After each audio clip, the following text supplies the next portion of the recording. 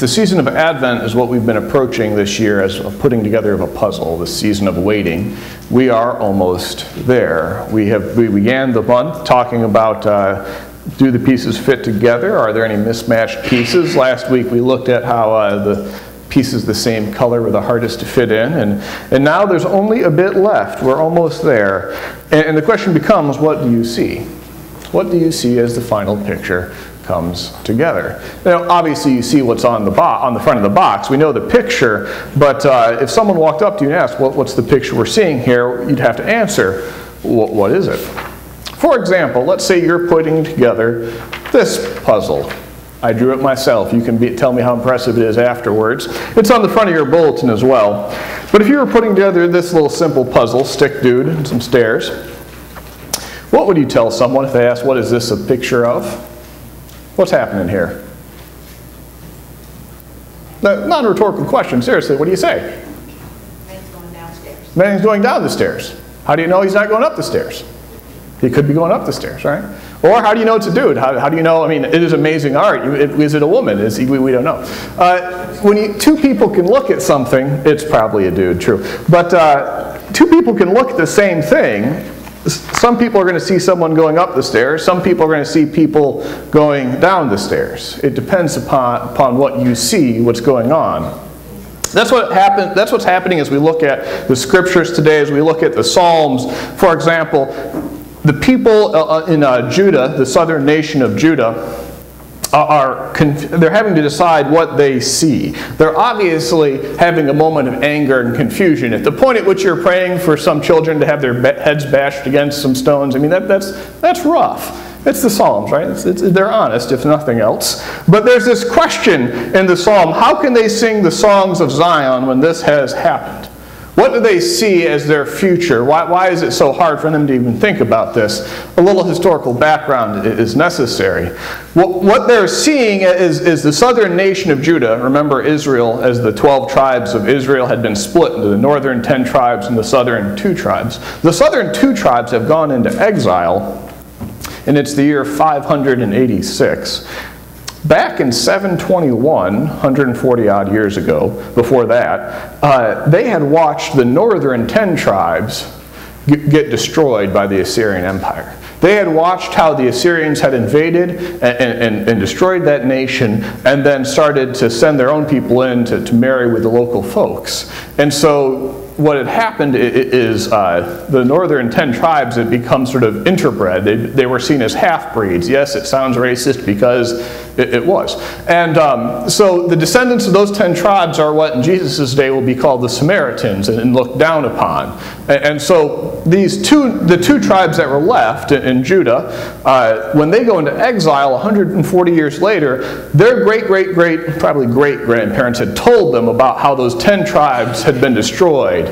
And now here are the two tribes, and they've gone into exile, and they're looking at their future, and they could very well see that they are just as doomed as, as the other ten tribes were. That's what they could see. They could see that they were doomed, God had forsaken them, and they were goners.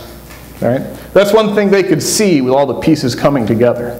The other thing they could see was what the prophet Jeremiah had told them about that God had gone with them into this exile, that they should seek the good of the city in which they were going to live, that something good was going to come of this. They could see that just like the, the Hebrew people when they'd gone to Mount Sinai and received God's word and then study it for 40 years before going into the promised land, they could see this as another interlude like that, another time of discipline before going back to the promised land. Right? So those are the two ways that they could see what was before them. It didn't change the facts on the ground. Two tribes of, of, Israel, the southern nation of Judah, had gone into exile, and they don't know what's next. But the way they understood the situation has God forsaken them and they're goners? Or is God disciplining them and they have a future? How they see the situation changes what happens next drastically. Right?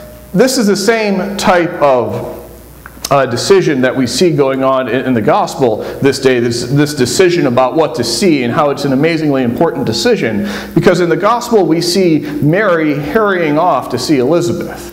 And, I think we, heard, we, we quickly move past, we have, uh, right before this, the angel shows up to Mary and says, hey, you're having a kid. And Mary says, ah, let it be with me as you say. And then we, we skip, it's easy to fast forward then to Elizabeth singing this song, yay! But uh, this middle part right here, this, this, verse, this verse 39, it tells us a lot because it says Mary got ready and hurried to go see Elizabeth. So let's think about this for a minute. You find out you're pregnant. Who's the first person you call? Your mom, right? Why didn't Mary go tell her mom? Why didn't she go see Elizabeth first? What's that tell you about her and her mama? Think there might be some tension there, right? For her not to go tell her mama first? A little bit of social tension too. This is a culture in which if you uh, are caught committing adultery as a woman, you get stoned. Uh, remember Jesus, when he, he is presented with this woman who has committed adultery, and, and he says to all the people, let he who is without sin throw the first stone. Those weren't metaphysical stones. Those aren't like pretend stones. Those are real stones. It makes me wonder if maybe he's thinking of his mama in that moment. But so he, she doesn't go see her, her, Mary doesn't go see her mom. She's going to go somewhere else. And she has to get ready to go see Elizabeth. How far do you have to go before you get ready? Right, how far of a trip? You, do you get ready to go to Green City? No, you just kind of jump in the car, car and go, right? Do you get ready to go to Kirksville? No, you, I get ready if I'm going to go to like Macon overnight. If I'm going to travel for a couple hours, I get ready. Anything short of Macon is just kind of, hey, I don't know, here, off we go. Right? So she gets ready. And she's going to take a trip as a young teenage woman in the first century Roman Empire. That's usually called stupid. I mean, I could sugarcoat it, uh, uh, lacking in judgment, but that's just usually not considered a good idea. And so she's going to hurry to go see her cousin Elizabeth.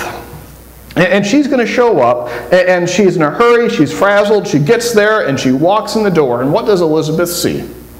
Right? That's the question. What does Elizabeth see? Well, she sees a frazzled, tired teen who's pregnant. But what does she see? Right? Does she see, if someone walks in the door and it's a tired, uh, frazzled woman who's pregnant, shows up by herself, has traveled a long distance, are you worried? Are you scared for her? Are you concerned? Are you thinking about, you know, I hear stories about people who, like, they'd go off for, for nine months and then, then go off to their aunts and then come back and not say what happened? I mean, is that what she's showing up to do because she has to hide the fact that she's about to have a kid? Is that what Elizabeth sees? Or does she see a blessing? Does she see the future mother of God? Does she see that this is something amazing and, and powerful, that this is God's will? Right? This is an amazing moment. Because Elizabeth has to choose what she sees. Now, she does have some help. John the Baptist, in, in utero, you might say, gives a kick. Oh, I recognize this. And she does have some assistance. But Elizabeth sees a woman who is about to give, who's going to give birth to a wonderful, uh, to uh, this wonderful thing, the Son of God, and, and she will be called blessed forever. That she will be forever remembered for her willingness to say yes. But Elizabeth has this moment when Mary walks in the door. She has to decide what she sees. Right? The question I'd have for you as we go through, come to the end of Advent is what do you see?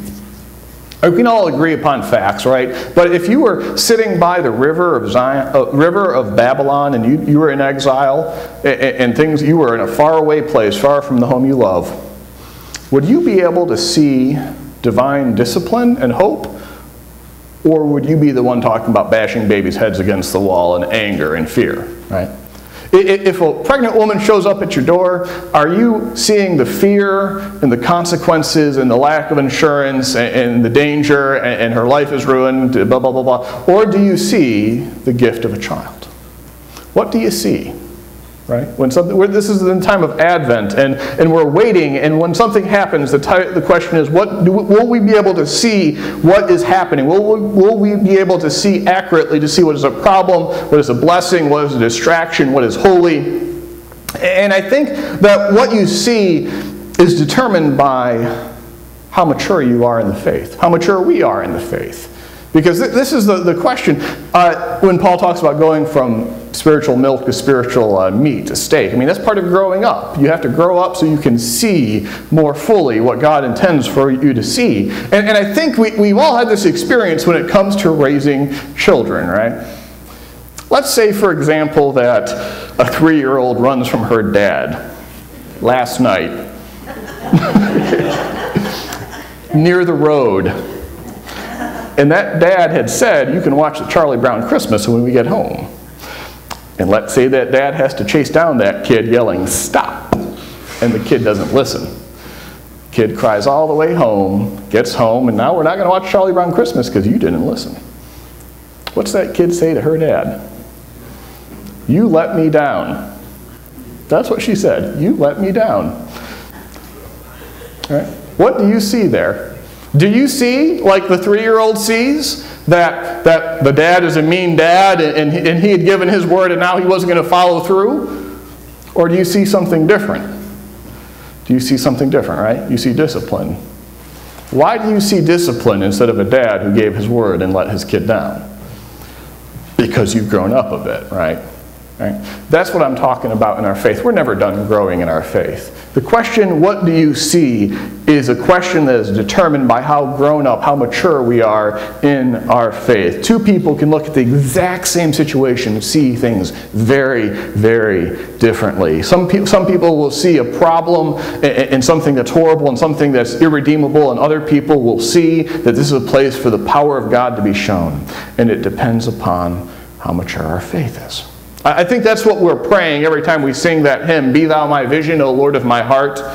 Be all else but not to me, say that thou art. Thou my best thought, in day and by night, both waking and sleeping, thy presence my light. That, that prayer, be thou my vision, be thou my best thought, because when we're lining up what we're thinking with what God is thinking, what we're seeing with what God's seeing, we're seeing by God's light. That is when we're seeing what is most true what is most hopeful, what is most good.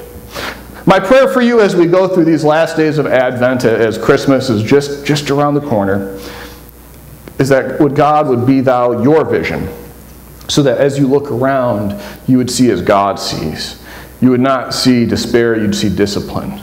You would not see hopelessness, but you'd see hope. You'd see possibility. You see potentials for what God can and will do in our lives, in our communities, and in our world. Amen.